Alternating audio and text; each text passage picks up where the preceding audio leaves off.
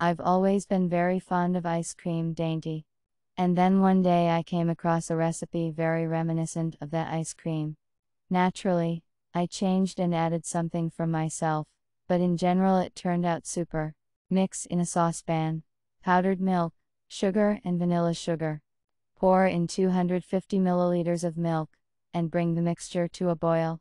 In a separate container, mix corn starch in 50 milliliters. Milk. Add the milk starch mixture to the boiling milk.